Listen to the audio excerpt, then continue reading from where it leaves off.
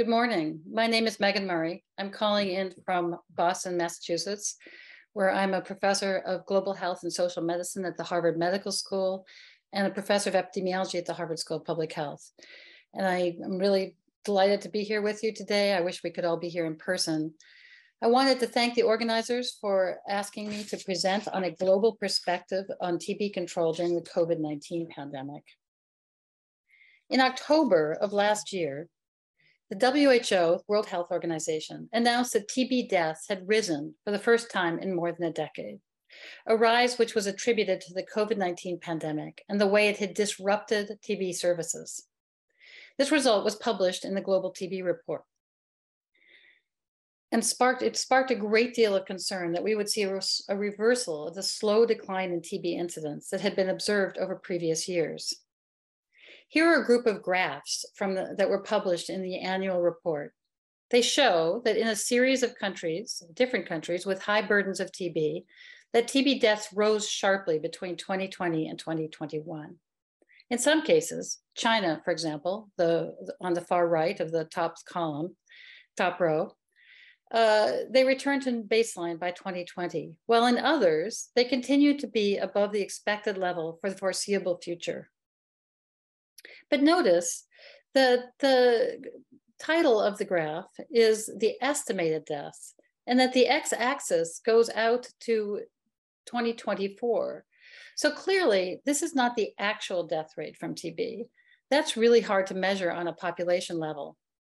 And if it's not actual deaths, it's reasonable for us to ask how these mortality rates were estimated. They were based on the fact that TB case notifications, meaning the number of TB cases reported to the health services, abruptly declined in many countries starting in 2020. These data are from India, and they were obtained from the Nikshay database. Nikshay is a data management tool that tracks TB notifications in both public and private sectors. And you can see here that the decline in case notifications occurred immediately after the first major lockdown in India. And of course, that makes sense, as we know it was a very challenging time for people to access medical care during that time. The picture on the right is of Delhi uh, in lockdown. Lockdown was uh, stringently enforced, and there was almost literally no one on the streets during that period.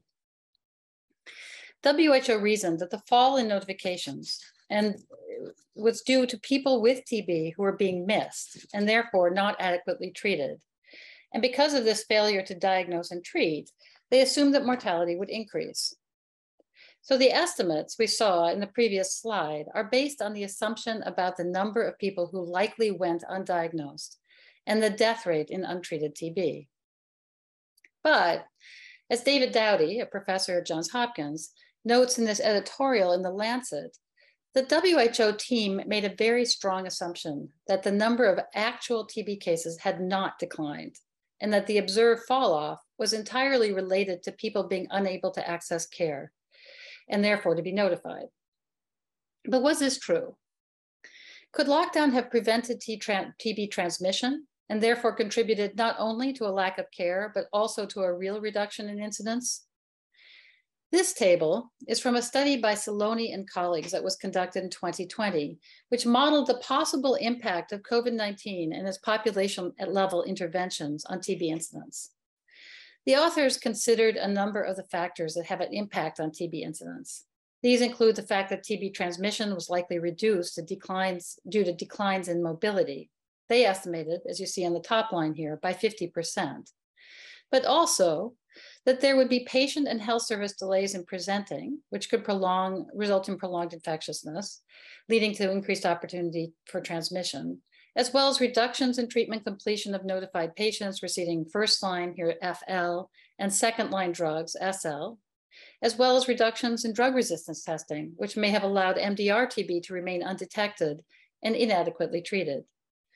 The baseline scenario assumes that COVID affected all of these parameters.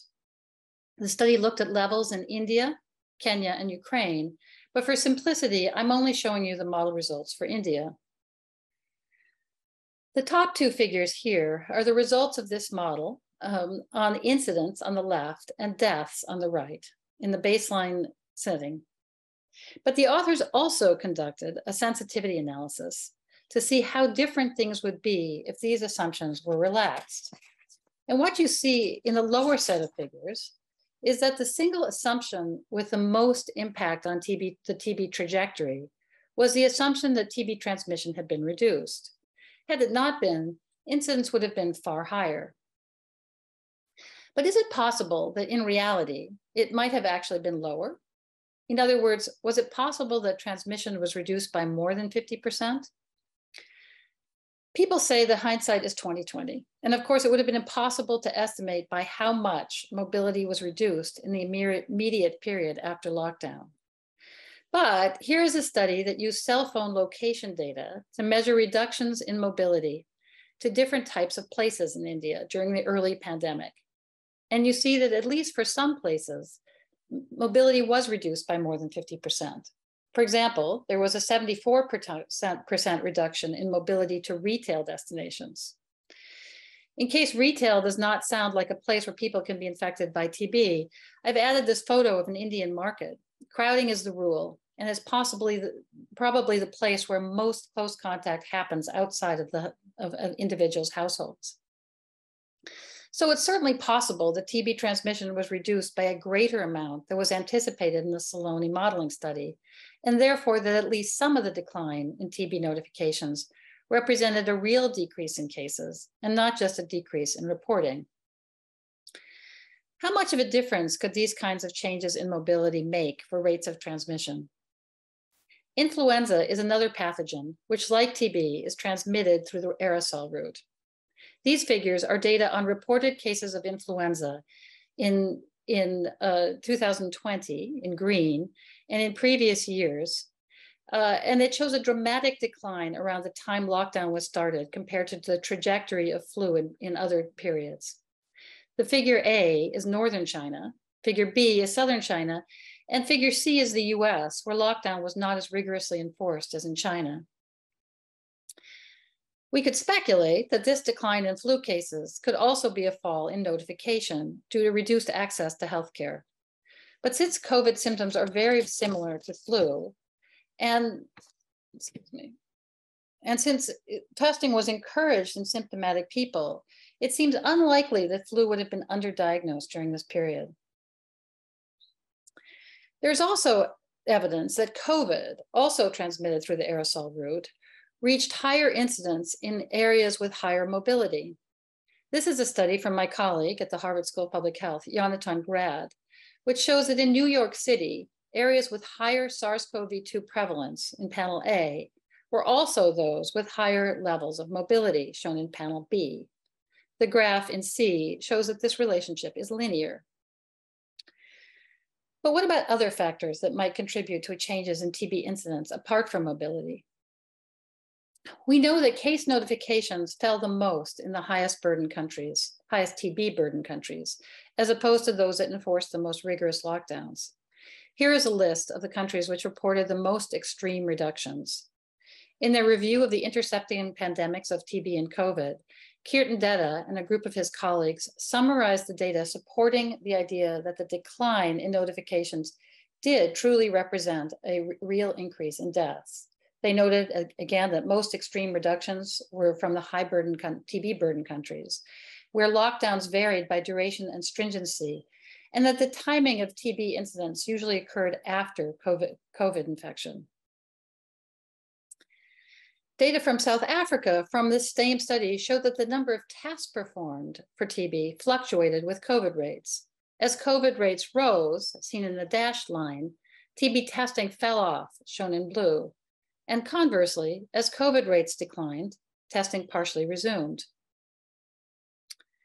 This set of figures shows the actual number of tests, uh, as well as the number of positive cases and the number of drug-resistant cases in, in relation to what was expected based on pooled data from previous years.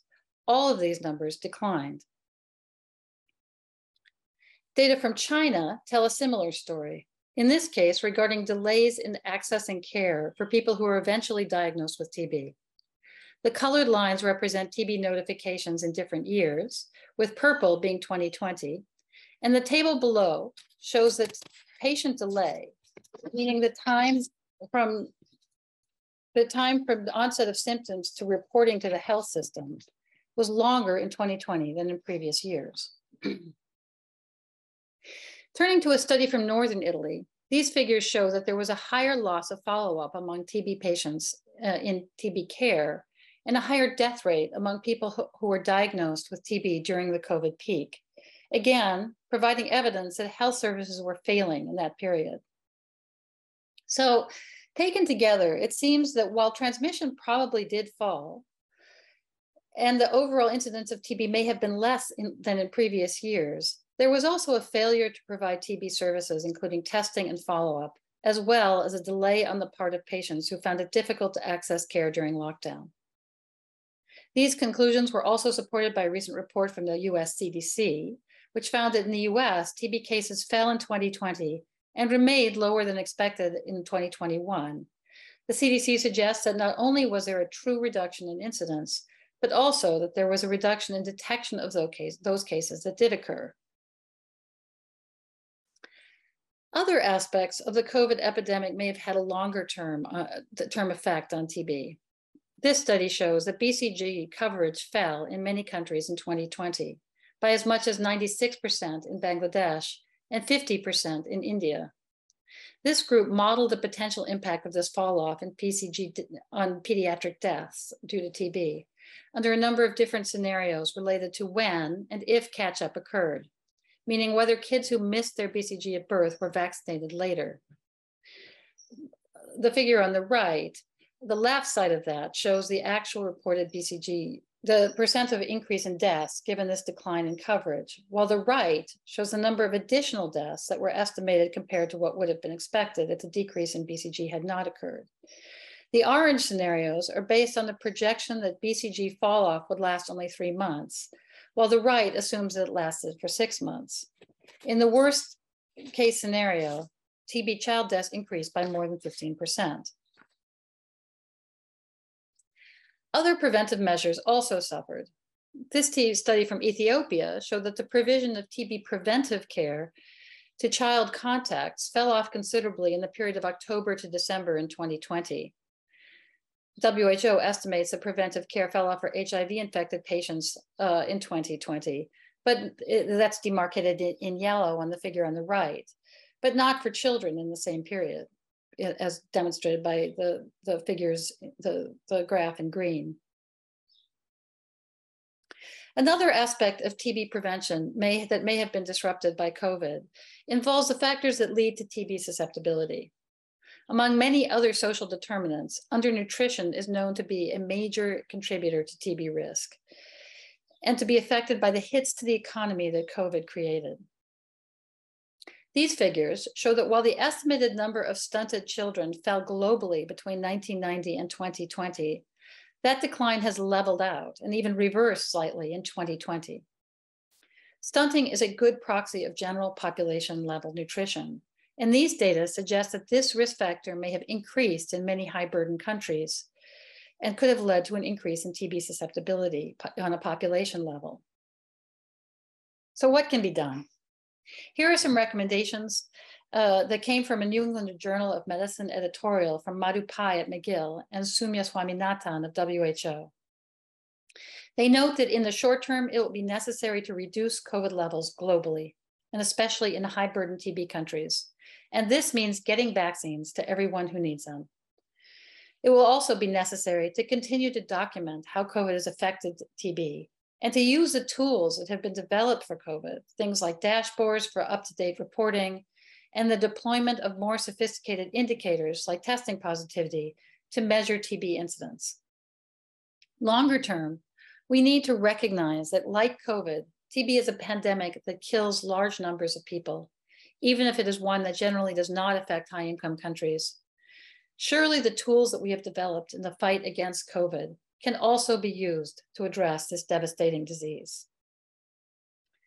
Thank you.